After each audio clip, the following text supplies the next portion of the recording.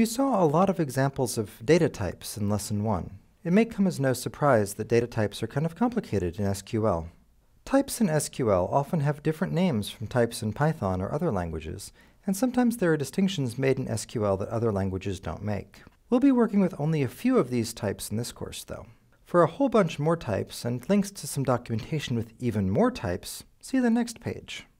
SQL has several different string types, in this course, we'll just use the text type, which is basically the same as a Python string. Same goes for numbers.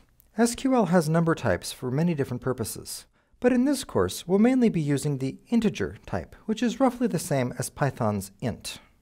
And how about our animals' birth dates? SQL has date and time types as well. We'll be using date columns for birth dates, since we don't care about the time of day. One thing that's really important to keep in mind about date and time values in SQL is that you have to put single quotes around them, as if they were strings.